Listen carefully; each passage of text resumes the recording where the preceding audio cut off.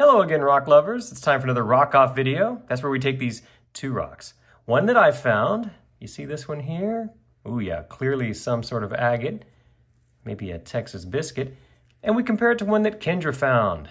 Ooh, uh, I see some quartz in there. I see chalcedony. Should be a good contest, right? Let's go ahead and get these in the shop, get them on the saw, cut them in two.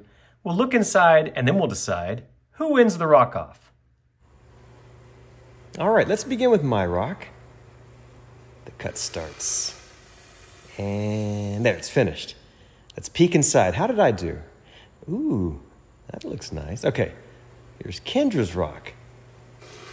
The cut starts, and there, it's finished. How did she do? Ooh. As you can see, the cutting's all finished. Now we can play the rock off. We'll begin with mine. This was clearly some sort of agate nodule, like a biscuit or something. What does it look like on the inside? Ooh. Well, that's pretty. Nice color to the chalcedony, and as you can see, there's a little bit of that mossiness on the edge, and then maybe look in there, a little bit of that, well, I don't know what you'd call that, those little like eyelashes in there. So not bad. For the contest, we'll go with, I think this one. What about Kendra's entry into this round? This is also clearly some kind of agate nodule. Oh, no doubt about it. What does hers look like? Ooh. Well, that's cool as well. Sort of looks like wings, maybe butterfly wings. Let's see. Sort of, kind of, maybe. Yeah, maybe not. So you got a little bit of the chalcedony in the middle, which I like. Then you got lots of quartz, which is, you know, so-so.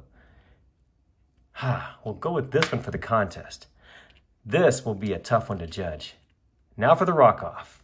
Which agate is better? Oh, goodness. now, she is my fiance, and I don't want to upset her. Not until after we get married. Okay, so, hmm. Honestly, I like mine more here on the left because of that section at the bottom right there. I think that's kind of cool. But I could easily be persuaded to pick hers because of that center. I think that's really nice. Mm, I'm going to say, you know what? I'm going to make a final ruling here and give this one to Kendra. I think that's really quite nice. I like how that looks in the center. It's close, but Kendra wins this round. Thank you for watching. I hope you liked it.